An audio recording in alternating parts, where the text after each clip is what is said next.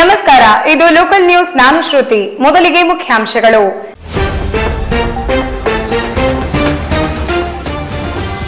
ನಗರಸಭೆ, ಪುರಸಭೆಯ ಪಟ್ಟಣ ಪಂಚಾಯಿತಿ ಹೊರಗುತ್ತಿಗೆ ನೌಕರರ ಸಂಘ ದಾವಣಗೆರೆ, ಮಹಾನಗರ ಪಾಲಿಕೆಯ ಹೊರಗುತ್ತಿಗೆ ಘನತ್ಯಾಜ್ಯ ವಿಲೇವಾರಿ ವಾಹನ ಚಾಲಕರ ಸಂಘದ ವತಿಯಿಂದ ಮಹಾನಗರ ಪಾಲಿಕೆಯ ಮುಂಭಾಗದಲ್ಲಿ ಅನಿರ್ದಿಷ್ಟಾವಧಿ ಮುಷ್ಕರ.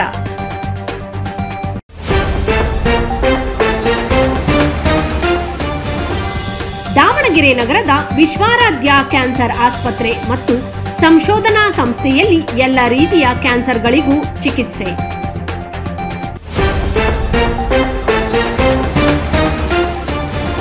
ಫೆಬ್ರವರಿ ನಾಲ್ಕು ಹಾಗೂ ಐದರಂದು ಶ್ರೀ ನಿರಂಜನಾನಂದಪುರಿ ಸ್ವಾಮಿಗಳ ನೇತೃತ್ವದಲ್ಲಿ ಶ್ರೀ ಕ್ಷೇತ್ರ ಮೈಲಾರದಲ್ಲಿ ಶ್ರೀ ಏಳುಕೋಟಿ ವಸತಿ ಶಾಲೆ ಉದ್ಘಾಟನೆ.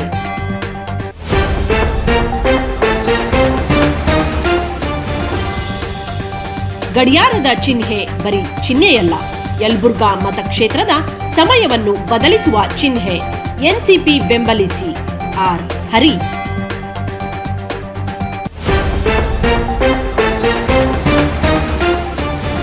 ಫೆಬ್ರವರಿ ಮೂರರಿಂದ ಐದರವರೆಗೆ ದಾವಣಗೆರೆಯಲ್ಲಿ ರಾಜ್ಯ ಮಟ್ಟದ ಕೃಷಿ ಮೇಳ ಆಯೋಜನೆ.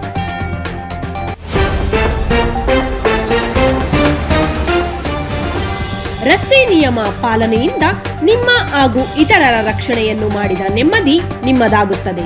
ಕೊಪ್ಪಳ ಪ್ರಾದೇಶಿಕ ಸಾರಿಗೆ ನಿರೀಕ್ಷಕ ಟಿಎ ಸತೀಶ್ ಬಾಬು.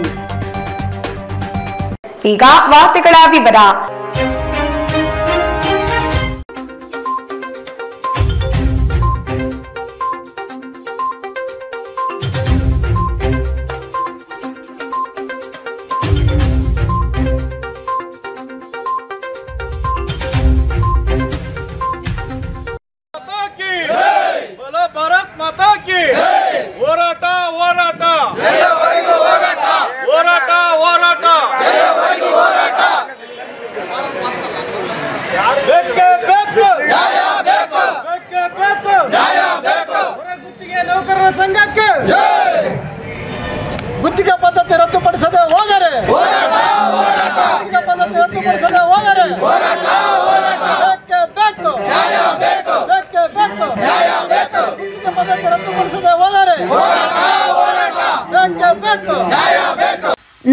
ಸ್ಥಳೀಯ ಸಂಸ್ಥೆಗಳ ಹೊರಗುತ್ತಿಗೆ ನೌಕರರಿಗೆ ಪೌರ ಕಾರ್ಮಿಕರ ಮಾದರಿಯಲ್ಲಿ ನೇರ ಪಾವತಿಗೊಳಪಡಿಸಿ ಹಂತ ಹಂತವಾಗಿ ಕಾಯಂಗೊಳಿಸುವಂತೆ ಆಗ್ರಹಿಸಿ ಕಸ ಸಾಗಿಸುವ ವಾಹನ ಚಾಲಕರು, ನೀರು ಸರಬರಾಜು ಸಹಾಯಕರು, ಲೋಡರ್ಸ್, ಕ್ಲೀನರ್ಸ್, ಹೆಲ್ಪರ್ಸ್, ಒಳಚರಂಡಿ ಕಾರ್ಮಿಕರು ಸೇರಿದಂತೆ ನಗರ ಸ್ಥಳೀಯ ಸಂಸ್ಥೆಗಳ ಹೊರಗುತ್ತಿಗೆ ನೌಕರರು ಅನಿರ್ದಿಷ್ಟಾವಧಿ ಮುಷ್ಕರವನ್ನು ದಾವಣಗೆರೆ ಮಹಾನಗರ ಪಾಲಿಕೆ ಮುಂಭಾಗದಲ್ಲಿ ಹಮ್ಮಿಕೊಳ್ಳಲಾಗಿತ್ತು. ರಾಜ್ಯದ ನಗರ ಸ್ಥಳೀಯ ಸಂಸ್ಥೆಗಳಲ್ಲಿ ಕರ್ತವ್ಯ ನಿರ್ವಹಿಸುವ ಪೌರ ಕಾರ್ಮಿಕರನ್ನು ಕಾಯಂ ಮಾಡಲು ಮುಂದಾಗಿರುವ ಸರ್ಕಾರ ಪೌರ ಕಾರ್ಮಿಕರೊಟ್ಟಿಗೆ ಹೊರಗುತ್ತಿಗೆ ಆಧಾರದಲ್ಲಿ ಕರ್ತವ್ಯ ನಿರ್ವಹಿಸುವ ವಾಹನ ಚಾಲಕರು, ನೀರು ಸರಬರಾಜು ಸಹಾಯಕರು, ಲೋಡರ್ಸ್, ಕ್ಲೀನರ್ಸ್, ಸ್ಯಾನಿಟರಿ ಸೂಪರ್ವೈಸರ್ಗಳನ್ನು ಸೇರಿದಂತೆ ಹದಿನೈದು ಸಾವಿರಕ್ಕೂ ಹೆಚ್ಚು ನೌಕರರನ್ನು ಗುತ್ತಿಗೆಯಲ್ಲಿ ಉಳಿಸಿ ತಾರತಮ್ಯ ಎಸಗಿದ್ದು, ಹೊರಗುತ್ತಿಗೆ ನೌಕರರ ನೇರ ಪಾವತಿ ಹಾಗೂ ಕಾಯಂಗಾಗಿ ರಾಜ್ಯಾದ್ಯಂತ ಕುಡಿಯುವ ನೀರು ಹಾಗೂ ಸ್ವಚ್ಛತೆ ಸ್ಥಗಿತಗೊಳಿಸಿ ಅನಿರ್ದಿಷ್ಟಾವಧಿ ಧರಣಿ ಹಮ್ಮಿಕೊಂಡಿದ್ದರು.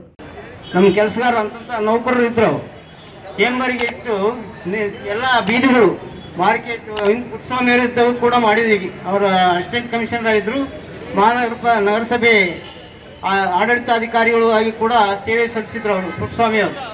ನಾವು ಮೂರ್ನಾಲ್ಕು ದಿವಸ ಉಪ್ಪು ಸೇರಿದಾಗ ಕೊನೆಗೆ ಅವ್ರು ಹೇಳಿದ್ರು ನಾನು ಬಂದಿರೋದನಪ್ಪ, ನಮ್ಮ ವಿರುದ್ಧ ಯಾಕೆ ಮಾಡಿಸ್ತೀನಿ ನಿಲ್ಗಿರಿ ಅಂತಂದೇಳಿ ಕರೆದು ಹೇಳಿದರು. ಅವಾಗ ನಮ್ಮ ನೌಕರ ಪರವಾಗಿ ನಾವು ಮಾಡಬೇಕಾದ ದಿವಸ ಮಾಡಿದ ಮಾಡಬೇಕು, ಮಾಡ್ತೇವೆ. ತಾವು ಇದನ್ನು ಸರ್ಕಾರಕ್ಕೆ ಏನಾದರೂ ಮನವಿ ಮಾಡಿ, ಹೆಚ್ಚಿನ ಪ್ರಭಾವ ಬೀರಿ ನಮ್ಮ ನೌಕರಿಗೆ ಕೊಡಬೇಕಾದಂಥ ಸವಲತ್ತುಗಳನ್ನು ಕೊಡೋದಕ್ಕೆ ತಾವು ಶಿಫಾರಸು ಮಾಡ್ಬೇಕಂತ ಕೇಳ್ಕೊಂಡಿವಿ. ಅದೇ ರೀತಿ ಅವ್ರು ಕೊಟ್ಟರು ಮಾಡಿದರು. ಮತ್ತು ಅವರಿರುವಾಗ ಇಲ್ಲಿ ಲೇಬರ್ ಕ್ವಾರ್ಟರ್ಸ್ನಲ್ಲಿ ಎಲ್ಲ ನೌಕರರು ಕಾಯಂ ಆಗಿದ್ದವು ಬಿಲ್ಡಿಂಗ್ಗಳು ಮನೆಗಳು. ನಗರಸಭೆಯಿಂದ ಪೂರ್ಣ ಹಣ ತುಂಬಿದ ಕಾರಣ ಅವು ಯಾರಿಗೂ ಕೊಡುವ ಅದೇ ರೀತಿ ಇತ್ತು ಕೊನೆಗೆ ನಗರಸಭೆ ನಗರಸಭೆಯಿಂದ ಅವ್ರನ್ನ ಹಣ ತುಂಬಿಸಿ ಯಾರ್ಯಾರು ವಾಸವಾಗಿದ್ರು ಅವರಿಗೆ ಆ ಮನೆಗಳನ್ನು ಆ ಸಂದರ್ಭದಲ್ಲಿ ಕೊಡಿಸಿದ್ವಿ. ಮತ್ತೆ ಹಿಂದೆ ಉಪವಾಸ ಸತ್ಯಾಗ್ರಹ ಮಾಡಿ ಎಲ್ಲ ಪೌರ ಕಾರ್ಮಿಕರಿಗೂ ಕೂಡ ನಗರಗಳ ಸ್ವಚ್ಛತೆ ಹಾಗೂ ಕುಡಿಯುವ ನೀರು ನಿರ್ವಹಣೆಯಲ್ಲಿ ಹೊರಗುತ್ತಿಗೆ ನೌಕರರ ಪಾತ್ರ ಮಹತ್ವದ್ದಾಗಿದೆ. ಎರಡು ಸಾವಿರದ ಹದಿನೇಳರಲ್ಲಿ ಪೌರ ಕಾರ್ಮಿಕರ ನೇಮಕಾತಿಗೊಳಿಸಿದಾಗಲೂ ಹೊರಗುತ್ತಿಗೆ ನೌಕರರನ್ನು ಗುತ್ತಿಗೆಯಲ್ಲಿ ಉಳಿಸಲಾಯಿತು. ಈಗಲೂ ಸಹ ಹೊರಗುತ್ತಿಗೆ ನೌಕರರನ್ನು ಗುತ್ತಿಗೆಯಲ್ಲಿ ಮುಂದುವರಿಸುವ ಸರ್ಕಾರದ ನೀತಿ ಒಂದು ಕಣ್ಣಿಗೆ ಬೆಣ್ಣೆ, ಒಂದು ಕಣ್ಣಿಗೆ ಸುಣ್ಣ ಎಂಬಂತಾಗಿದೆ.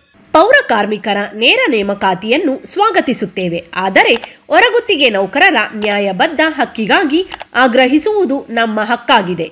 ಒಂದೇ ಇಲಾಖೆಯಲ್ಲಿ ಕರ್ತವ್ಯ ನಿರ್ವಹಿಸುವವರ ಮಧ್ಯೆ ಒಡೆದಾಡುವ ನೀತಿ ಅನುಸರಿಸುವುದು ಯಾವುದೇ ಸರ್ಕಾರಕ್ಕೆ ಶೋಭೆಯಲ್ಲ.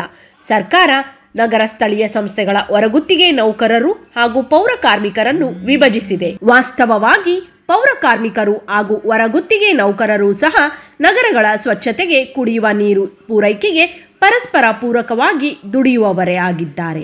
ಆದರೆ ಅಧಿಕಾರಿಗಳು ಈ ನೌಕರರನ್ನು ವಿಭಜಿಸಿ ತಾರತಮ್ಯ ಎಸಗಿದ್ದಾರೆ. ಸರ್ಕಾರ ಆಗಿರುವ ಲೋಪವನ್ನು ಸರಿಪಡಿಸಿ ಹೊರಗುತ್ತಿಗೆ ನೌಕರರನ್ನು ಪೌರ ಕಾರ್ಮಿಕರ ಮಾದರಿಯಲ್ಲಿ ನೇರ ಪಾವತಿಗೊಳಪಡಿಸಿ ಹಂತ ಹಂತವಾಗಿ ಕಾಯಂಗೊಳಿಸುವಂತೆ ಕೋರುತ್ತೇವೆ. ರಾಜ್ಯದ ಮುನ್ನೂರ ಮೂವತ್ತು ನಗರ ಸ್ಥಳೀಯ ಸಂಸ್ಥೆಗಳ ಹೊರಗುತ್ತಿಗೆ ನೌಕರರು ಮುಷ್ಕರದಲ್ಲಿ ಪಾಲ್ಗೊಳ್ಳಲಿದ್ದು, ಕುಡಿಯುವ ನೀರು ಹಾಗೂ ಕಸ ವಿಲೇವಾರಿಯಲ್ಲಿ ನಾಗರಿಕರಿಗೆ ಆಗುವ ಅನಾನುಕೂಲಕ್ಕೆ ವಿಷಾದ ವ್ಯಕ್ತಪಡಿಸಿದರು. ಈ ಮುಷ್ಕರದಲ್ಲಿ ನಾಗಣ್ಣಗೌಡ, ವೀರೇಶ್, ದುಗ್ಗೇಶ್, ಮಂಜಪ್ಪ ಎಲ್ಎಚ್ ಸಾಗರ್ ಹಾಗೂ ಪೌರ ಕಾರ್ಮಿಕರು ಹಾಜರಿದ್ದರು.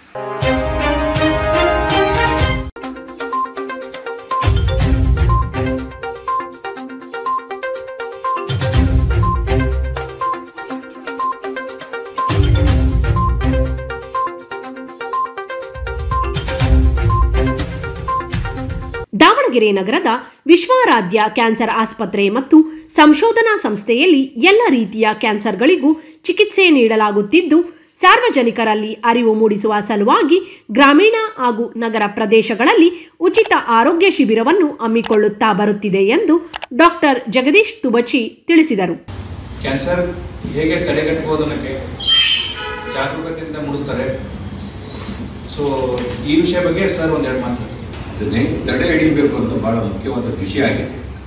ಮೊದಲು ರೋಗ ಬಂದ್ಮೇಲೆ ಅದಕ್ಕೆ ಚಿಕಿತ್ಸೆ ಕೊಡ್ತೀವಿ ಹಾಸ್ಪಿಟಲ್ ಕರ್ಕೊಂಡೋದ್ರೆ ಸರ್ಜರಿನೋ ಅದು ಏನೋ ಒಂದು ಮಾಡಿ.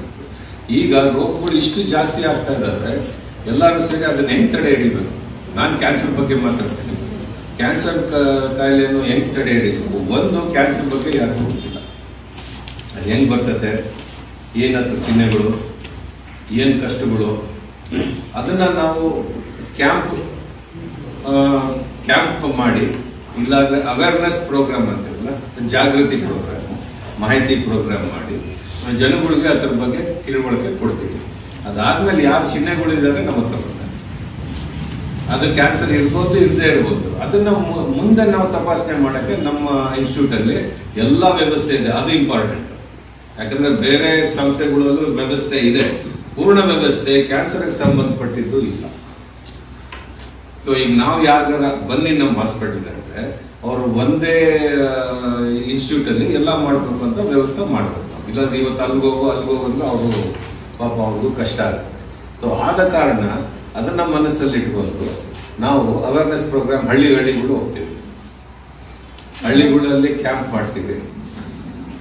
ಆಮೇಲೆ ನಮ್ಮ ಇನ್ಸ್ಟಿಟ್ಯೂಟ್ಗೆ ಕರೀತೀವಿ. ಈಗ ಇದರಲ್ಲಿ ಏನು ಸಮಸ್ಯೆ ಇದೆ ಅಂದ್ರೆ ಕ್ಯಾನ್ಸರ್ ರೋಗ ಏನಿದೆ ಐವತ್ತು ವರ್ಷದಿಂದ ಸಿಕ್ಸ್ಟಿ ಸೆವೆಂಟಿ ಪರ್ಸೆಂಟ್ ಏನು ಅಡ್ವಾನ್ಸ್ ಸ್ಟೇಜಲ್ಲಿ ಬರ್ತಿತ್ತು, ಇವತ್ತು ಅದೇ.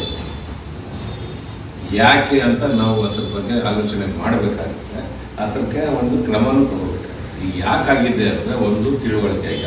ಫಾರ್ ಎಕ್ಸಾಂಪಲ್ ವಿಶ್ವರಾಜ ಹಾಸ್ಪಿಟ್ಲಲ್ಲಿ ಅಂತ ಯಾರು ಒಂದು ಹತ್ತು ಕಿಲೋಮೀಟರ್ ಹೋಗ್ಬಿಟ್ರೆ ವಿಶ್ವರಾಜ ಕ್ಯಾನ್ಸರ್ ಸೆಂಟರ್ ಅಂತ ಯಾರು ಗೊತ್ತಿಲ್ಲ ಸುದ್ದಿಗೋಷ್ಠಿಯಲ್ಲಿ ಮಾತನಾಡಿದ ಅವರು, ನಮ್ಮ ಆಸ್ಪತ್ರೆಯಲ್ಲಿ ಈ ಮೊದಲು ಸಣ್ಣ ಪ್ರಮಾಣದ ಕ್ಯಾನ್ಸರ್ ಚಿಕಿತ್ಸೆಗಳನ್ನು ಮಾಡಲಾಗುತ್ತಿತ್ತು. ಈಗ ಸಮಗ್ರ ಕ್ಯಾನ್ಸರ್ ಚಿಕಿತ್ಸೆ ನೀಡುತ್ತಿದ್ದು ವಿಶೇಷ ತಜ್ಞರ ತಂಡವನ್ನು ಹೊಂದಿದೆ ಎಂದರು. ಹಿರಿಯ ತಜ್ಞ ಡಾಕ್ಟರ್ ಇಬ್ರಾಹಿಂ ನಾಗನೂರು ಮಾತನಾಡಿ, ಸಂಸ್ಥೆ ವತಿಯಿಂದ ಗ್ರಾಮೀಣ ಹಾಗೂ ನಗರ ಪ್ರದೇಶಗಳಲ್ಲಿ ಕ್ಯಾನ್ಸರ್ ರೋಗದ ಕುರಿತು ಜಾಗೃತಿ ಮೂಡಿಸುವ ಹಾಗೂ ತಪಾಸಣೆ ಶಿಬಿರವನ್ನು ಹಮ್ಮಿಕೊಳ್ಳಲಾಗುತ್ತಿದೆ. ಅರಿವಿನ ಕೊರತೆ, ಹಣದ ಅಲಭ್ಯತೆ ಹಾಗೂ ಮುಜುಗರದಿಂದ ರೋಗಿಗಳು ಚಿಕಿತ್ಸೆಗೆ ಮುಂದಾಗುವುದಿಲ್ಲ. ಇದನ್ನು ಅರಿತು ಶಿಬಿರಗಳನ್ನು ಏರ್ಪಡಿಸಲಾಗುತ್ತಿದೆ ಎಂದರು. ಸಂಸ್ಥೆ ಎರಡು ಸಾವಿರದ ಹತ್ತೊಂಬತ್ತರಲ್ಲಿ ಪ್ರಾರಂಭವಾಗಿದ್ದು, ಇಲ್ಲಿ ಸಮಗ್ರ ಕ್ಯಾನ್ಸರ್ ಚಿಕಿತ್ಸೆಯನ್ನು ನೀಡುತ್ತಾ ಬಂದಿದ್ದು, ಅದರಲ್ಲಿ ಸ್ತನ ಕ್ಯಾನ್ಸರ್, ಗರ್ಭಕೋಶ ಕ್ಯಾನ್ಸರ್, ಗುದ ಕ್ಯಾನ್ಸರ್, ಅನ್ನನಾಳ ಕ್ಯಾನ್ಸರ್, ಕಿಡ್ನಿ ಕ್ಯಾನ್ಸರ್, ಬಾಯಿ ಮತ್ತು ಕುತ್ತಿಗೆ ಗಂಟಲು ಕ್ಯಾನ್ಸರ್ಗಳು ಸೇರಿದಂತೆ ಸರ್ಜರಿ, ಕೀಮೋಥೆರಪಿ, ಅತ್ಯಾಧುನಿಕ ರೇಡಿಯೇಷನ್ ಸೌಲಭ್ಯವಿದ್ದು, ಇದರಲ್ಲಿ ಸರ್ಕಾರ ಬಿಪಿಎಲ್ ಕಾರ್ಡ್ ಇಎಸ್ಐ ಮತ್ತು ಎಲ್ಲ ತರಹದ ಖಾಸಗಿ ಇನ್ಶೂರೆನ್ಸ್ ಒಳಗೊಂಡಂತೆ ಇನ್ನು ಅನೇಕ ತರಹದ ಚಿಕಿತ್ಸೆಯನ್ನು ನೀಡುತ್ತಿದ್ದೇವೆ ಎಂದರು. ಸುದ್ದಿಗೋಷ್ಠಿಯಲ್ಲಿ surgical oncology doctor C Ajay ಪ್ರಾತ್ಯಕ್ಷಿಕೆ ನೀಡಿದರು. ಡಾಕ್ಟರ್ ವಿಘ್ನೇಶ್ ಉಪಸ್ಥಿತರಿದ್ದರು.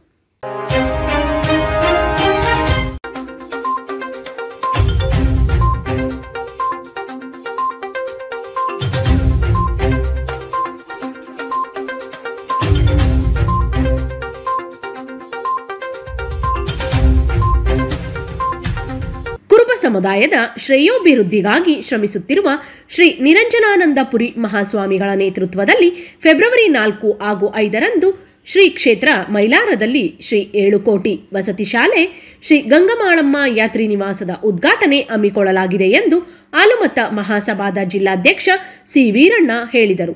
ಸುದ್ದಿಗೋಷ್ಠಿಯಲ್ಲಿ ಮಾತನಾಡಿದ ಅವರು ಶ್ರೀ ಕ್ಷೇತ್ರ ಮೈಲಾರದಲ್ಲಿ ಫೆಬ್ರವರಿ ನಾಲ್ಕರಂದು ಶ್ರೀ ಏಳುಕೋಟಿ ಭಕ್ತರ ಕುಟಿರ ಎಂಬ ಮಠವನ್ನು ನಿರ್ಮಾಣ ಮಾಡಿ ಲೋಕಾರ್ಪಣೆ ಮಾಡಲಾಗುವುದು.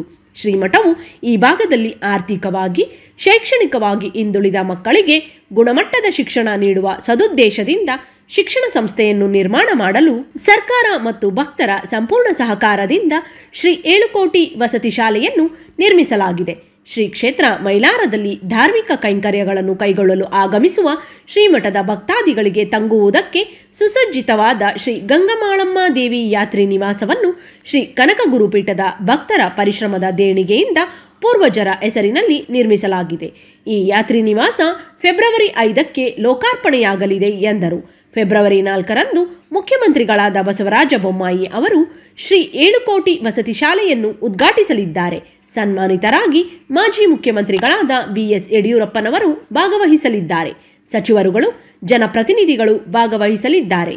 ಫೆಬ್ರವರಿ ಐದರಂದು ಶ್ರೀ ಗಂಗಮಾಳಮ್ಮ ದೇವಿ ಯಾತ್ರಿ ನಿವಾಸವನ್ನು ಮಾಜಿ ಮುಖ್ಯಮಂತ್ರಿ, ವಿರೋಧ ಪಕ್ಷದ ನಾಯಕರಾದ ಸಿದ್ದರಾಮಯ್ಯನವರು ಉದ್ಘಾಟಿಸಲಿದ್ದಾರೆ. ಈ ಎರಡು ದಿನಗಳ ಕಾರ್ಯಕ್ರಮಗಳಲ್ಲಿ ಮಠಾಧೀಶರುಗಳು, ಜನಪ್ರತಿನಿಧಿಗಳು, ಸಮಾಜದ ಮುಖಂಡರು ಭಾಗವಹಿಸುತ್ತಿದ್ದಾರೆ. ಸಮಾಜದ ಎರಡು ಪ್ರಮುಖ ಕಾರ್ಯಕ್ರಮಗಳಲ್ಲಿ ಜಿಲ್ಲೆಯ ಸಮಾಜದ ಬಂಧುಗಳು ಹೆಚ್ಚಿನ ಸಂಖ್ಯೆಯಲ್ಲಿ ಭಾಗವಹಿಸಬೇಕಾಗಿ ಜಿಲ್ಲಾಧ್ಯಕ್ಷರಾದ ಸಿ ವೀರಣ್ಣ ಮನವಿ ಮಾಡಿದರು. ಸುದ್ದಿಗೋಷ್ಠಿಯಲ್ಲಿ ಕಾರ್ಯಾಧ್ಯಕ್ಷರಾದ ಚಂದ್ರು ದೀಟೂರು, ಪ್ರಧಾನ ಕಾರ್ಯದರ್ಶಿ ಬಿಜಿ ಘನರಾಜ್, ಕಾರ್ಯದರ್ಶಿ ಎಸ್ಎಂ ಸಿದ್ದಲಿಂಗಪ್ಪ, ಖಜಾಂಚಿ ಆರ್ಬಿ ಪರಮೇಶ್, ಮಹೇಂದ್ರ ಕುಮಾರ್, ಪ್ರಧಾನ ಕಾರ್ಯದರ್ಶಿ ಅಂಜಿನಪ್ಪನವರು ಹಾಜರಿದ್ದರು. ನಿರ್ಮಾಣ ಮಾಡಿ ಲೋಕಾರ್ಪಣೆಯನ್ನು ಮಾಡಿದ್ದಾರೆ, ಮೈಲಾರದಲ್ಲಿ. ಅದರ ನಂತರ, ಅದರ ಕೆಲವು ದಿನಗಳ ನಂತರ ಈಗ ಸುಮಾರು ಒಂದು ಇಪ್ಪತ್ತು ಕೋಟಿ ರೂಪಾಯಿಗಿಂತ ಹೆಚ್ಚಿನ ಹಣವನ್ನು ವಿನಿಯೋಗಿಸಿ ಸರ್ಕಾರದಿಂದ ಮತ್ತು ಸಮಾಜದ ಮಠದ ಭಕ್ತರಿಂದ ತೆಗೆದುಕೊಂಡು ವಸತಿ ಶಾಲೆಯನ್ನು ಮಾಡಿದ್ದಾರೆ. ಈ ವಸತಿ ಶಾಲೆಯಲ್ಲಿ ಒಂದು ಪ್ಲೇ ಗ್ರೂಪ್ನಿಂದ ಹಿಡಿದು ಒಂದು ಡಿಗ್ರಿ ತನಕನೂ ವಿದ್ಯಾಭ್ಯಾಸ ಪಡಬೇಕು ಆ ಭಾಗದಲ್ಲಿ ನಮ್ಮ ಸಮಾಜದವರು ಹಾಗೂ ಸರ್ವಜನಾಂಗದವರು ಸಹ ಶೈಕ್ಷಣಿಕವಾಗಿ ಅಭಿವೃದ್ಧಿ ಹೊಂದಬೇಕು ಎಂಬ ದೃಷ್ಟಿ ಇಟ್ಟುಕೊಂಡು ನಮ್ಮ ಶ್ರೀಗಳು, ಶ್ರೀ ಶ್ರೀ ನಿರಂಜನದಪುರಿ ಮಹಾಸ್ವಾಮಿಗಳು ಅಂತ ದೊಡ್ಡ ಒಂದು ಕಟ್ಟಡವನ್ನು ಕಟ್ಟಿ ಅಲ್ಲಿ ವಿದ್ಯಾ ವಿದ್ಯಾವನ್ನ ಮತ್ತು ಶೈಕ್ಷಣಿಕವಾಗಿ ಸಮಾಜ ಸಮಾಜ ಉನ್ನತಿ ಮಟ್ಟಕ್ಕೆ ಹೋಗಬೇಕೆಂಬ ಉದ್ದೇಶದಿಂದ ಕಟ್ಟಿದ್ದಾರೆ. ಅದೇ ರೀತಿ ಶ್ರೀ ಏಳು ಕೋಟಿ ಮೈಲಾರಲಿಂಗೇಶ್ವರ ದೇವಸ್ಥಾನ ಮೈಲಾರದಲ್ಲಿ ಇರೋದ್ರಿಂದ ಆ ಒಂದು, ಆ ದೇವಸ್ಥಾನಕ್ಕೆ ಬರತಕ್ಕಂಥ ಮಠದ ಭಕ್ತರು ಹಾಗೂ ಶ್ರೀ ಮೈಲಾರದಲ್ಲಿ ಧಾರ್ಮಿಕ ಕೈಕಾರ್ಯಗಳನ್ನು ಕೈಗೊಳ್ಳಲು ಆಗಮಿಸ, ಆಗಮಿಸುವಂತ ಮೈಲಾರಲಿಂಗೇಶ್ವರ ಭಕ್ತರು ಮತ್ತು ಶ್ರೀ ಮಠದ ಭಕ್ತರಿಗೆ ಅನುಕೂಲವಾಗಲಿ ಎಂಬ ದೃಷ್ಟಿಯಿಂದ ಸುಮಾರು ಒಂದು ಇಪ್ಪತ್ತಕ್ಕಿಂತ ಹೆಚ್ಚಿನ ಕೊಠಡಿಗಳನ್ನು ನಿರ್ಮಾಣ ಮಾಡಿ, ಆ ಅದಕ್ಕೆ ಶ್ರೀ ಗಂಗಮ್ಮಳಮ್ಮ ದೇವಿ ಯಾತ್ರಿ ನಿವಾಸವನ್ನು ಸಹ ಅಂದು ಅಂದು ಸಹ ಉದ್ಘಾಟನೆಯೇ ಇರ್ತದೆ ಸುಮಾರು ನಾಲ್ಕನೇ ತಾರೀಕು ರಾಜ್ಯದ ಮುಖ್ಯಮಂತ್ರಿಗಳು ಆಗಿರ್ತಕ್ಕಂಥ ಬಸವರಾಜ ಬೊಮ್ಮಾಯಿ ಅವರು ಬಂದು ಶ್ರೀ ಏಳು ಕೋಟಿ ವಸತಿ ಶಾಲೆಯನ್ನು ಉದ್- ಉದ್ಘಾಟನೆಯನ್ನು ಮಾಡ್ತಾರೆ. ಆ ಸಂದರ್ಭದಲ್ಲಿ ಮಾಜಿ ಮುಖ್ಯಮಂತ್ರಿಗಳಾದಂಥ ಯಡಿಯೂರಪ್ಪನವರು ಸಹ ಭಾಗವಹಿಸ್ತಾರೆ. ಅದ್ರ ಜೊತೆಗೆ ಸಚಿವರುಗಳು ಮತ್ತು ವಿಧಾನ ಪರಿಷತ್ ಸದಸ್ಯರು, ಶಾಸಕರುಗಳು ಆಗಮಿಸ್ತಾರೆ. ಅದ ನಂತರ ಅಂದ್ರೆ ಐದನೇ ತಾರೀಕು ಶ್ರೀ ಗಂಗಾಮಾಳಮ್ಮ ಯಾತ್ರೆ ನಿವಾಸದ ಉದ್ಘಾಟನೆಯನ್ನು ಸಹ ಮಾಜಿ ಮುಖ್ಯಮಂತ್ರಿಗಳು ಹಾಗೂ ವಿರೋಧ ಪಕ್ಷದ ನಾಯಕರು ಆಗಿರ್ತಕ್ಕಂಥ ಸಿದ್ದರಾಮಯ್ಯನವರು ಉದ್ಘಾಟನೆಯನ್ನು ಮಾಡಲಿದ್ದಾರೆ ಅವರವರು ಎಚ್ ಎಂ ರೇವಣ್ಣನವರು. ಅದರ ಜೊತೆಗೆ ನಾಲ್ಕನೇ ತಾರೀಕು ಡಾಕ್ಟರ್ ಸಾಯಿಬಾಬಾ ವ್ಯಾಧಿ ನಿರ್ಮ, ನಮ್ಮ ಜಗದ್ಗುರುಗಳು ಆದಂಥ ಶ್ರೀ ಶ್ರೀ ನಿರಂಜನಾನಂದಪುರಿ ಮಹಾಸ್ವಾಮಿಗಳವರ ದಿವ್ಯ ಸಾನ್ನಿಧ್ಯದಲ್ಲಿ ಮತ್ತು ಈಶ್ವರಾನಂದಪುರಿ ಮಹಾಸ್ವಾಮಿಗಳು, ಮಾದರ ಚೆನ್ನಯ್ಯ ಮಹಾಸ್ವಾಮಿಗಳು, ಶಿವಾನಂದ ಇನ್ನಷ್ಟು ಸುದ್ದಿಗಳು ಒಂದು ಸಣ್ಣ ಬ್ರೇಕ್ ಆದ ಮೇಲೆ ದಾವಣಗೆರೆಯಲ್ಲಿ ಮತ್ತು ಸುತ್ತಮುತ್ತಲಿನ ಜಿಲ್ಲೆಯ ಗ್ರಾಹಕರ ನಂಬಿಕೆ ಗಳಿಸಿ ಎಲ್ಲಾ ರೀತಿಯ ನೈನ್ ಒನ್ ಸಿಕ್ಸ್ ಹಾಲ್ಮಾರ್ಕ್ ಆಭರಣಗಳನ್ನು ಅತ್ಯಂತ ವಿಶ್ವಾಸಪೂರ್ಣ ಬೆಲೆಗಳಲ್ಲಿ ನೀಡುತ್ತಿದ್ದೇವೆ. ಹಿಂದೆ ಭೇಟಿ ಕೊಡಿ ಶ್ರೀ ಮರಳಸಿದ್ದೇಶ್ವರ ಜ್ಯುವೆಲರ್ಸ್, ಮುದೇಗೌಡರು ಪರಮೇಶ್ವರಪ್ಪ ಬೆಳ್ಳಿ ಬಂಗಾರದ ಅಂಗಡಿ, ಕೋದಂಡರಾಮ ದೇವಸ್ಥಾನದ ಹತ್ತಿರ, ಚಾಮರಾಜಪೇಟೆ, ದಾವಣಗೆರೆ. ಮೊಬೈಲ್ ಒಂಬತ್ತು ಸೊನ್ನೆ ಒಂದು ಒಂಬತ್ತು ಎರಡು ಒಂದು ಐದು ಐದು ಮೂರು ಐದು. ದಾವಣಗೆರೆಗೆ ಟ್ರಿಪ್ ಹೋಗ್ತಾ ಇದ್ದೀವಿ. ದಾವಣಗೆರೆನಲ್ಲಿ ಏನಿದೆ ಅಂದ್ರೆ? ಅದು ಸರ್ಪ್ರೈಸ್ ನಿಮ್ಗೆ ಮದುವೆ ದಿನಾನೇ ಗೊತ್ತಾಗೋದು. ನಾವು ದಾವಣಗೆರೆ ರೀಚ್ ಆದ್ವಿ. ಇಷ್ಟು ಬೇಗನಾ?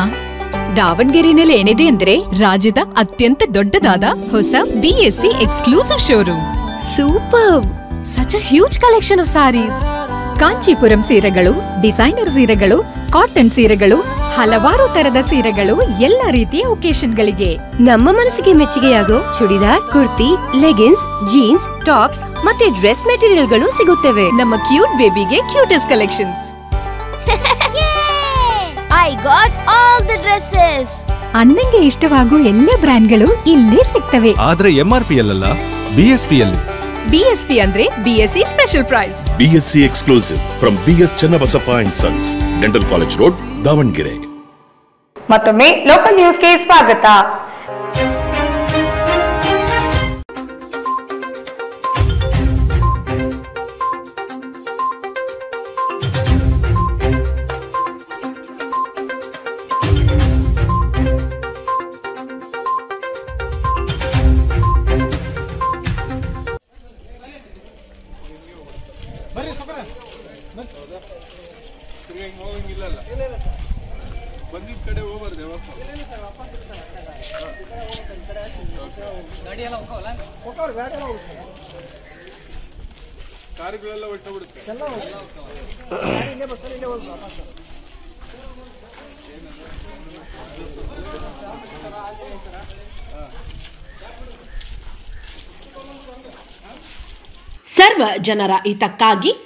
ಹಾಗೂ ಪ್ರಾಮಾಣಿಕ ಆಡಳಿತಕ್ಕೋಸ್ಕರ ಎನ್ಸಿಪಿ ಪಕ್ಷವನ್ನು ಬೆಂಬಲಿಸಿ ಗಡಿಯಾರದ ಚಿಹ್ನೆ ಬರೀ ಚಿಹ್ನೆಯಲ್ಲ. ಯಲ್ಬುರ್ಗಾ ಮತಕ್ಷೇತ್ರವನ್ನು ಬದಲಿಸುವ ಸಮಯದ ಚಿಹ್ನೆಯಾಗಿದೆ ಎಂದು ರಾಷ್ಟ್ರವಾದಿ ಕಾಂಗ್ರೆಸ್ ಪಕ್ಷದ ರಾಜ್ಯಾಧ್ಯಕ್ಷ ಹಾಗೂ ಯಲ್ಬುರ್ಗಾ ವಿಧಾನಸಭಾ ಕ್ಷೇತ್ರದ ನಿಯೋಜಿತ ಅಭ್ಯರ್ಥಿ ಆರ್. ಹರಿ ತಿಳಿಸಿದರು. ಈಗೆಲ್ಲ ಐವತ್ತು, ಅರವತ್ತು ವರ್ಷಗಳ ಕಾಲ ನೀವೆಲ್ಲ ನೋಡ್ಕೊಂಡ್ ಬಂದಿದ್ದೈತಿ. ಇವತ್ತಿನ ದಿವಸ ಸಮಾಜದಲ್ಲಿ ಹೆಂಗ್ ಬದುಕಬೇಕು? ಒಬ್ಬನ ಕುತ್ತಿಗೆ ಕೊಯ್ದು, ಒಬ್ಬರನ್ನ ಮೋಸ ಮಾಡಿ, ಒಬ್ಬರನ್ನು ಬಡಿದು ಬದುಕಬೇಕಾಗೈತೆ ಏನೋ ಸಮಾಜದೊಳಗೆ ಹೇಳಿ ನೋಡೋಣ. ಇರಷ್ಟರಲ್ಲೇ ನಾವು ನೇತದಿಂದ ಇದ್ದಷ್ಟರಲ್ಲೇ ತೃಪ್ತಿ ತೃಪ್ತಿಯನ್ನು ಪಡ್ಕೊಂಡು ಬದುಕಬೇಕಾಗ್ಯದ ಸಮಾಜದೊಳಗ. ಇವತ್ತು ಎಲ್ಲರೂ ಶಾಸಕರಾಗಕ್ಕಾಗಂಗಿಲ್ಲ ಈ ಕ್ಷೇತ್ರದಲ್ಲಿ ಎರಡು ಲಕ್ಷ ಚಿಲ್ಲರಿ ಮೇಲೆ ಮತದಾರ ಹೊಂದಿರತಕ್ಕಂತ ಕ್ಷೇತ್ರ, ಒಂದ್ ನೂರ ನಲವತ್ಮೂರು ಹಳ್ಳಿಗಳನ್ನು ಹೊಂದಿರತಕ್ಕಂತ ಕ್ಷೇತ್ರದ ಎಲ್ಲರೂ ಶಾಸಕರಾಗಲಿಕ್ಕೆ ಸಾಧ್ಯ ಇಲ್ಲ. ಇವತ್ತು ಭಗವಂತ ನಮಗೆ ಯಾವ ಶಕ್ತಿ ಕೊಟ್ಟನೋ ಅಷ್ಟರಲ್ಲೇ ಬದುಕಿ ಹೋಗಬೇಕಾಗದ ಈ ಯುಗದಲ್ಲಿ. ಅದಕ್ಕಾಗಿ ನಾವು ನೀವೆಲ್ಲರೂ ಹೆಂಗ್ ಬದುಕಬೇಕಪ್ಪ ಅಂತಂದ್ರೆ ಇವಾಗಿನ ರಾಜಕಾರಣ. ಇವತ್ತು ಅವರದು ಉಳುಮೆ ಮಾಡ್ಲಿಕ್ಕೆ ಅವ್ರ ಹತ್ರ ದುಡ್ಡು ಇರಲ್ಲ ಅಂತ ಪರಿಸ್ಥಿತಿ ಇವತ್ತು ಈ ತಾಲೂಕಲ್ಲಿ ಅಷ್ಟು ಬಡತನ ಇದೆ. ಹಾಗಾಗಿ ಇವತ್ತು ಸಣ್ಣ ರೈತರಿಗೆ ಸುಮಾರು ಒಬ್ಬರಿಗೆ ಎರಡು ಎಕರೆ ಮತ್ತು ಒಂದು ವರ್ಷಕ್ಕೆ ಎರಡು ಸಾವಿರ ಎಕರೆ ಐದು ವರ್ಷಕ್ಕೆ ಹತ್ತು ಸಾವಿರ ಎಕರೆ ಬೀಜ ಮತ್ತು ಉಳುಮೆನ ಉಚಿತವಾಗಿ ಮಾಡಿಕೊಡಲು ನನ್ನ ಸ್ವಂತ ದುಡ್ಡಿಂದ ನಾನು ನಿರ್ಧಾರ ಮಾಡಿದ್ದೇನೆ. ಇವತ್ತು ನೋಡ್ತಾ ಇದ್ದೀರಾ? ಇವತ್ತು ಕೃಷ್ಣ ಬಿ ಸ್ಕೀಮ್ ತರ್ತೀನಿ ಅಂತ ಹೇಳಿ ಕೆಲವರು ಸುಳ್ಳು ಹೇಳಿ ರಾಜಕಾರಣ ಮಾಡಿದ್ದಾರೆ. ಅದೇ ರೀತಿ ಕೆಲವರು ಕೆರೆಗಳು ತುಂಬಿಸ್ತೀನಿ ಮತ್ತೆ ನೀರಾವರಿ ಮಾಡ್ತೀನಿ ಅಂತ ಹೇಳಿ ಕೆಲವರು ಮಾತಾಡಿದ್ದಾರೆ. ಅಂತವರೆಲ್ಲ ಇವತ್ತು ಈ ತಾಲೂಕಲ್ಲಿ ಇದ್ದಾರೆ.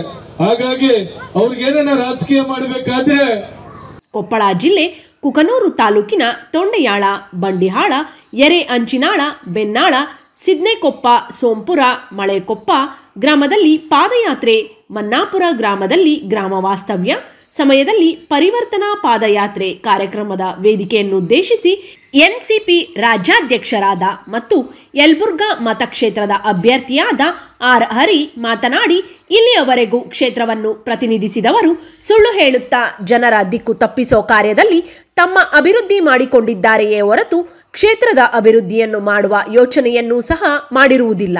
ಒಬ್ಬರು ಕೃಷ್ಣೆಯಿಂದ ಕುಡಿಯುವ ನೀರಿಗಾಗಿ ತರುವ ಪ್ರಣಾಳಿಕೆ ನೀಡುತ್ತಾ ಬಂದಿದ್ದರೆ ಮತ್ತೊಬ್ಬರು ಕ್ಷೇತ್ರವನ್ನು ನೀರಾವರಿ ಮಾಡುತ್ತೇನೆ ಎಂದು ಸುಳ್ಳು ಹೇಳುತ್ತಾ ಕಾಲಹರಣ ಮಾಡಿ ಸ್ವ ಅಭಿವೃದ್ಧಿ ಮಾಡಿಕೊಳ್ಳುತ್ತಾ ಸಾಗಿರುತ್ತಾರೆ. ಆದ್ದರಿಂದ ನಿಷ್ಪಕ್ಷಪಾತ ಆಡಳಿತದೊಂದಿಗೆ ಕ್ಷೇತ್ರದ ಅಭಿವೃದ್ಧಿಗಾಗಿ ಎನ್ಸಿಪಿಯನ್ನು ಬೆಂಬಲಿಸಿ ಗಡಿಯಾರದ ಚಿಹ್ನೆ ಬರೀ ಚಿಹ್ನೆಯಲ್ಲ, ಯಲಬುರ್ಗಾ ಮತಕ್ಷೇತ್ರ ಬದಲಿಸುವ ಸಮಯದ ಚಿಹ್ನೆಯಾಗಿದೆ, ಎಲ್ಲರೂ ಬೆಂಬಲಿಸುವಂತೆ ಕೇಳಿಕೊಂಡರು. ಈ ವೇಳೆಯಲ್ಲಿ ಪಕ್ಷದ ಮುಖಂಡರಾದ ಬಸವರಾಜ ಹಳ್ಳಿ ಸಭೆಯನ್ನುದ್ದೇಶಿಸಿ ಮಾತನಾಡಿದರು. ನಾಗನಗೌಡ ಪೊಲೀಸ್ ಪಾಟೀಲ್ ಈರಣ್ಣ ಸಾಹುಕಾರ ಸೇರಿದಂತೆ ಇನ್ನಿತರ ಮುಖಂಡರು ಹಾಗೂ ಕಾರ್ಯಕರ್ತರು, ಗ್ರಾಮಸ್ಥರು ಪಾಲ್ಗೊಂಡಿದ್ದರು. ವರದಿ ಚೆನ್ನಯ್ಯ ಹಿರೇಮಠ, ಕೊಪ್ಪಳ ಜಿಲ್ಲೆ.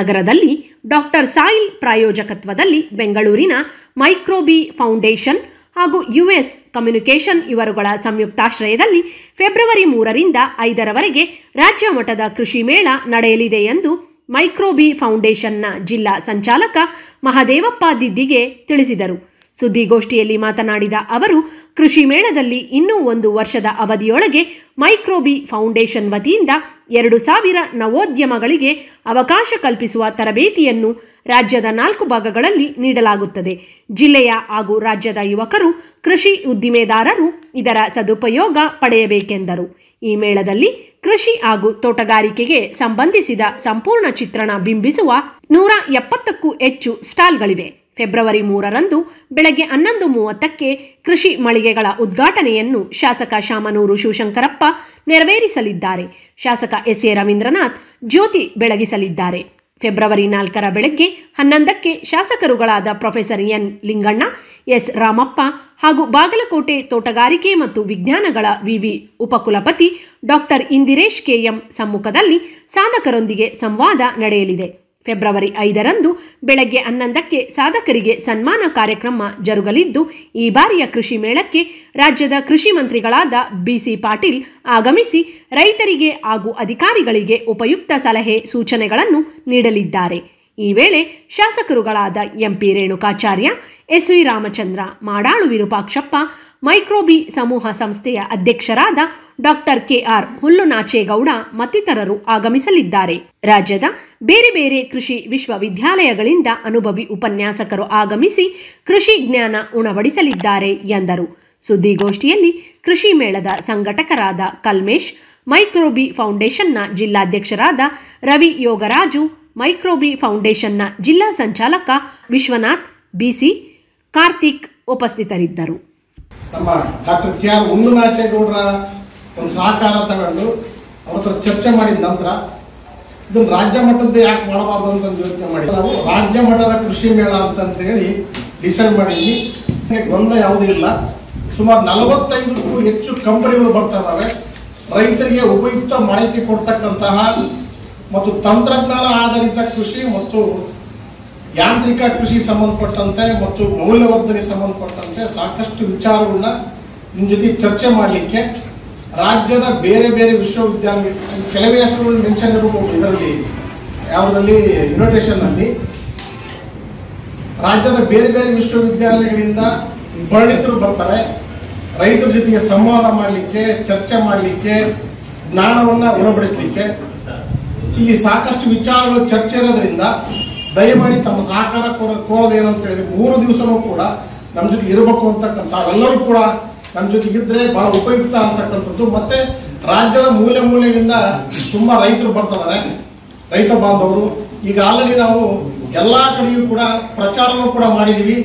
ಮಾಧ್ಯಮಗಳ ಮುಖಾಂತರ, ಮತ್ತೆ ನಮ್ಮ ವೆಹಿಕಲ್ ಮುಖಾಂತರ, ಮತ್ತೆ ಭಿತ್ತಿ ಪತ್ರಗಳನ್ನ ಅಂಟಿಸೋದ್ರ ಮುಖಾಂತರ ಪ್ರಚಾರ ಮಾಡಿದೀವಿ. ಮೊದಲನೇ ದಿವಸ ಉದ್ಘಾಟನೆ ಮಾತ್ರ ಬರ್ತಕ್ಕಂಥ ಇವರು ಯಾರು ನಮ್ಮ ಶಾಮನೂರು ಶಿವಶಂಕರ್ ಶಾಸಕರು, ಮಾಜಿ ಮಂತ್ರಿಗಳು, ಅವ್ರ ಕಡೆಯಿಂದ ಉದ್ಘಾಟನೆ ಇರುತ್ತೆ. ಜೊತೆಗೆ ಎಸ್ ಎ ರವೀಂದ್ರನಾಥ್ ಅವರು ಇರ್ತಾರೆ ಮೊದಲನೇ ದಿವಸ. ನಮ್ಮ ಶಿವನ, ಶಿವಾನಂದ ಕಾಪಶಿ ಅವರು ಮಾನ್ಯ ಜಿಲ್ಲಾಧಿಕಾರಿ ಇರ್ತಾರೆ. ಮತ್ತೆ ಜಿಲ್ಲಾ ಪಂಚಾಯತ್ ಸಿಇಒ ಆಗಿರ್ತಕ್ಕಂಥ ಚನ್ನಪ್ಪ ಸಾಹೇಬ್ ಇರ್ತಾರೆ.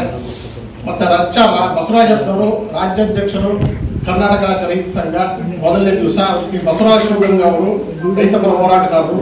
ಶ್ರೀನಿವಾಸ್ ಚಿಂತಾಲ್ ಸರ್ ಡಾಕ್ಟರ್ ಶ್ರೀನಿವಾಸ್ ಚಿಂತಾಲ್ ಅವರು ಜಂಟಿ ನಿರ್ದೇಶಕರು. ಚಿಂತಾಲ್ ಸರ್ ಅಂತಾರೆ. ಡಾಕ್ಟರ್ ರಾಘೇಂದ್ರ ಪ್ರಸಾದ್ ಸರ್ ಜಂಟಿ ನಿರ್ದೇಶಕರು ತೋಟಗಾರಿಕೆ ಇಲಾಖೆ. ಡಾಕ್ಟರ್ ಅನಿಯೂರು ಚಂದ್ರೇಗೌಡ ಅಂತ ಹೇಳ್ಬಿಟ್ಟು ಕನ್ನಡ ಪ್ರಾಧ್ಯಾಪಕರು ಮತ್ತು ಬೆಂಗಳೂರು ವಿಶ್ವವಿದ್ಯಾಲಯ ಜೊತೆಗೆ ಕಿರುದರ ನಟರು ನಟರು ಕೂಡ ವಿಶ್ವವಿದ್ಯಾಲಯ ಸೇರಿಸಿ ತಾಸಿ ತೋಟ ಮತ್ತೆ ಕೈ ತೋಟ ಸಭಾಮಂಡವರು ಮೊದಲೇ ಸೇರ್ತಾರೆ. ಬೆಳಗ್ಗೆ ಕಾರ್ಯಕ್ರಮದಲ್ಲಿ ಮಧ್ಯೆ ಮಧ್ಯೆ ಜಾನಪದ ಹಾಡುಗಳ ಬಗ್ಗೆ ಸಾಕಷ್ಟು ಚರ್ಚೆ ಮಾಡ್ತಾರೆ. ನಾಲ್ಕನೇ ನಾಲ್ಕನೇ ತಾರೀಕು ಎರಡನೇ ದಿವಸ ಪ್ರೊಫೆಸರ್ ಲಿಂಗಣ್ಣವರು ಮತ್ತೆ ರಾಮಪ್ಪನವರು ಇರ್ತಾರೆ.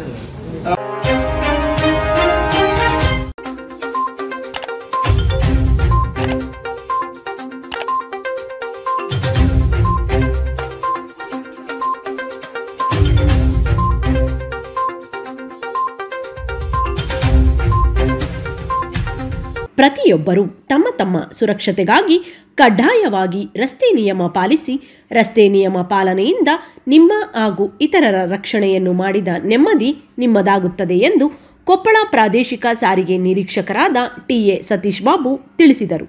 ಕೊಪ್ಪಳ ಜಿಲ್ಲೆಯ ಕುಕನೂರು ಪಟ್ಟಣದ ಬಸ್ ನಿಲ್ದಾಣದ ಆವರಣದಲ್ಲಿ ಕರ್ನಾಟಕ ಸರ್ಕಾರ ಸಾರಿಗೆ ಇಲಾಖೆ ಪ್ರಾದೇಶಿಕ ಸಾರಿಗೆ ಅಧಿಕಾರಿಗಳ ಕಚೇರಿ ಕೊಪ್ಪಳ. ಇವರಿಂದ ಆಯೋಜಿಸಿದ್ದ ರಾಷ್ಟ್ರೀಯ ರಸ್ತೆ ಸುರಕ್ಷತಾ ಸಪ್ತಾಹ ಎರಡ್ ಸಾವಿರದ ಇಪ್ಪತ್ತ್ಮೂರರ ಅಂಗವಾಗಿ ಸಾರ್ವಜನಿಕರಿಗೆ ಮಾಹಿತಿ ನೀಡಿದ ಸಾರಿಗೆ ನಿರೀಕ್ಷಕರಾದ ಸತೀಶ್ ಬಾಬು ಮಾತನಾಡುತ್ತಾ ದ್ವಿಚಕ್ರ ವಾಹನ ಪ್ರಯಾಣಿಸುವವರು ಸಂಚಾರ ನಿಯಮ ಪಾಲಿಸುತ್ತಾ ಕಡ್ಡಾಯವಾಗಿ ಹೆಲ್ಮೆಟ್ ಧರಿಸುವುದನ್ನು ಮರೆಯದಿರಿ. ಹಾಗೂ ನಾಲ್ಕು ಚಕ್ರಕ್ಕಿಂತ ಹೆಚ್ಚಿನ ವಾಹನದ ಸವಾರರು ಕಡ್ಡಾಯವಾಗಿ ಸೀಟ್ ಬೆಲ್ಟ್ ಧರಿಸುವುದರಿಂದ ಸಂಭವಿಸಬಹುದಾದ ಪ್ರಾಣಾಪಾಯದಿಂದ ಪಾರಾಗಬಹುದು ಎಂದು ಮಾಹಿತಿಯನ್ನು ಹಂಚಿಕೊಂಡರು.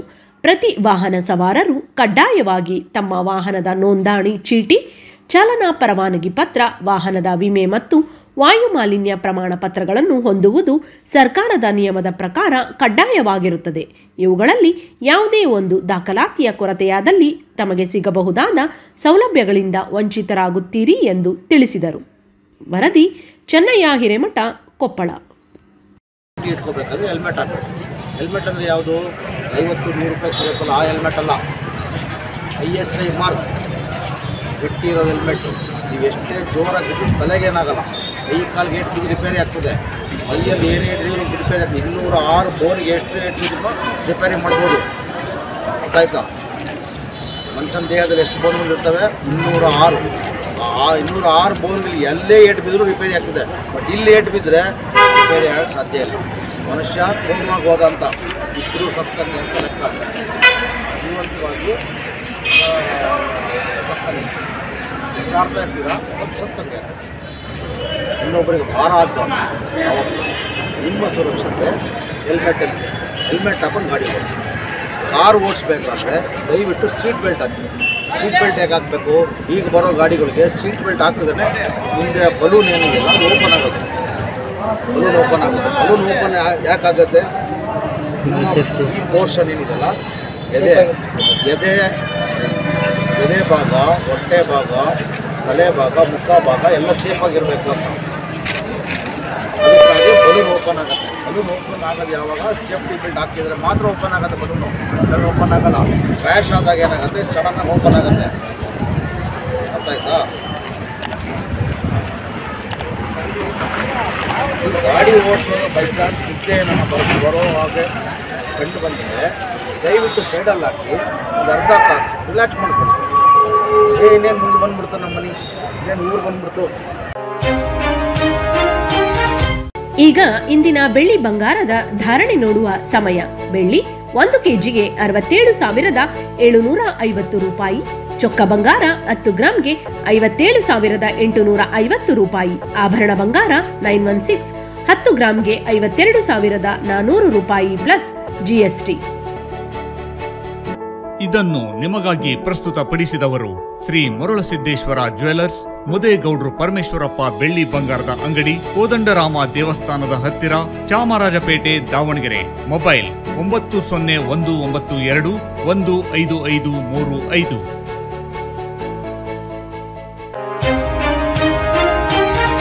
ಮತ್ತೊಮ್ಮೆ ಮುಖ್ಯಾಂಶಗಳು.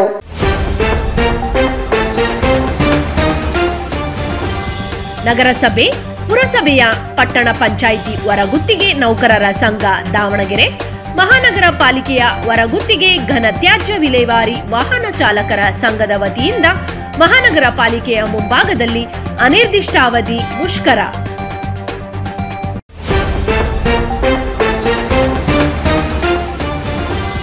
ದಾವಣಗೆರೆ ನಗರದ ವಿಶ್ವಾರಾಧ್ಯ ಕ್ಯಾನ್ಸರ್ ಆಸ್ಪತ್ರೆ ಮತ್ತು ಸಂಶೋಧನಾ ಸಂಸ್ಥೆಯಲ್ಲಿ ಎಲ್ಲ ರೀತಿಯ ಕ್ಯಾನ್ಸರ್ಗಳಿಗೂ ಚಿಕಿತ್ಸೆ.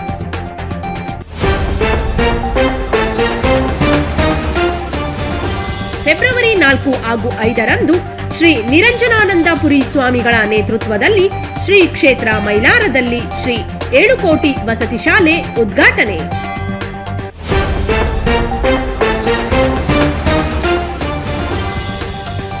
ಗಡಿಯಾರದ ಚಿಹ್ನೆ ಬರೀ ಚಿಹ್ನೆಯಲ್ಲ, ಯಲ್ಬುರ್ಗಾ ಮತಕ್ಷೇತ್ರದ ಸಮಯವನ್ನು ಬದಲಿಸುವ ಚಿಹ್ನೆ, ಎನ್ಸಿಪಿ ಬೆಂಬಲಿಸಿ ಆರ್ ಹರಿ.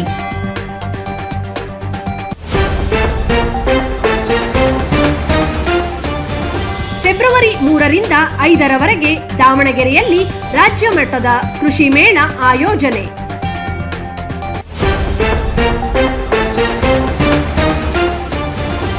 ರಸ್ತೆ ನಿಯಮ ಪಾಲನೆಯಿಂದ ನಿಮ್ಮ ಹಾಗೂ ಇತರರ ರಕ್ಷಣೆಯನ್ನು ಮಾಡಿದ ನೆಮ್ಮದಿ ನಿಮ್ಮದಾಗುತ್ತದೆ. ಕೊಪ್ಪಳ ಪ್ರಾದೇಶಿಕ ಸಾರಿಗೆ ನಿರೀಕ್ಷಕ T A Satish Babu. Local news ಅನ್ನ ಯೂಟ್ಯೂಬ್ನಲ್ಲಿ ನೋಡಲು ಜೆಕೆ ಟಿವಿ ಕನ್ನಡ ಎಂದು ಸರ್ಚ್ ಮಾಡಿ ಚಾನೆಲ್ಗೆ ಸಬ್ಸ್ಕ್ರೈಬ್ ಆಗಿರಿ. ಇವಿಷ್ಟು ಇಂದಿನ ಲೋಕಲ್ ನ್ಯೂಸ್ ಇದರ ಮರುಪ್ರಸಾರ ಬೆಳಗ್ಗೆ ಎಂಟು ಗಂಟೆಗೆ ನೋಡಬಹುದು. ಮತ್ತೆ ಭೇಟಿಯಾಗೋಣ ನಾಳೆ ರಾತ್ರಿ ಎಂಟು ಗಂಟೆಗೆ. ನಮಸ್ಕಾರ. ನಕ್ಷತ್ರ ಟಿವಿ ಲೋಕಲ್ ನ್ಯೂಸ್ ಇದು ನಿಮ್ಮದೇ ಧ್ವನಿ.